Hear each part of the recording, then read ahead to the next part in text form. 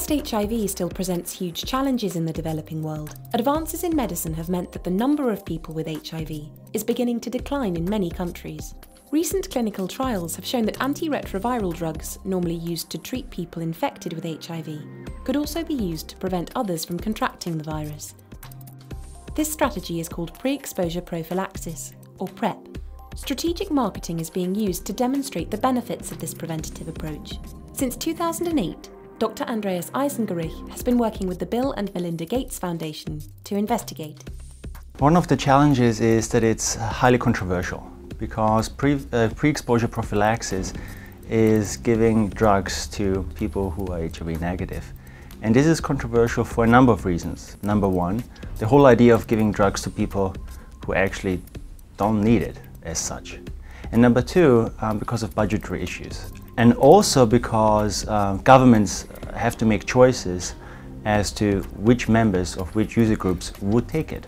PrEP has never been meant to be for everyone, but rather for members of specific high-risk groups, such as injecting drug users, uh, serodiscordant couples, men who have sex with men, or sex workers.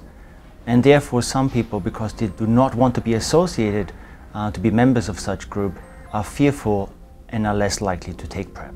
In terms of logistics and also the entire PrEP program, there's some really tough questions to be answered and tackled.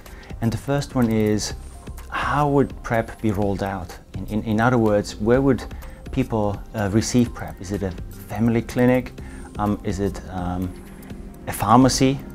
Um, and that is important because whether people can get the drug from a pharmacy or a family clinic, that will also impact levels of fear, anxiety or stigma.